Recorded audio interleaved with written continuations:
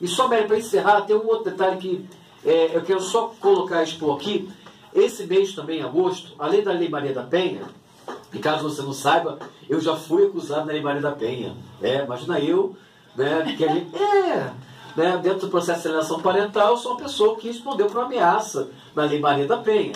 Logo eu que há 10 anos atrás, o Sem Embaixada estava fechado, a gente se movimentou e aí são coisas que a gente faz em silêncio. Não é é, bandeirinha ou faixinha, obrigado, fulano do Zé das Couves por ter feito.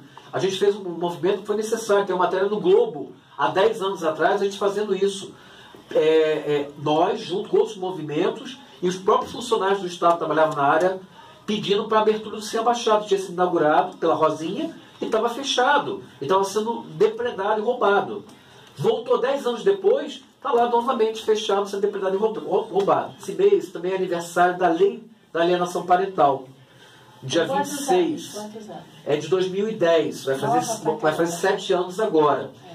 E o que acontece? Na semana passada nós fizemos um ao vivo em que, não pela quantidade de pessoas, mas deu um resultado que foi para mim inesperado e por respeitar a pessoa que sofre essa violência, inclusive uma mulher, não é a questão do homem, é que sofre uma violência horrorosa na, na eleição parental, é, nós decidimos na causa, além de intensificar, esse mês, uma vez, uma vez por semana, às terças-feiras, de 9 às 9h30, nós vamos estar ao vivo no canal do Facebook Alienação Parental Basta, Facebook Alienação Parental Basta, que não é só da Concausa, são de vários movimentos do Rio, do Brasil, alguns da América Latina, um pessoal de Portugal que fala com a gente, falando sobre o tema, falando sobre os casos, como se dá a situação da, da, da, alienação parental. Exemplificando, assim como mulheres achavam que antigamente ela ser obrigada a ter relações sexuais com seu marido sem querer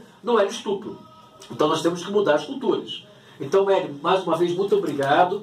Tá? E agradeço muito esse espaço. E muito bom encontrar com a Fernanda aqui. Que eu falei com ela, hoje mesmo lembrei dela. Junto com, com o nome de um monte de gente boa da Baixada. Tá? Obrigado mesmo, Mary.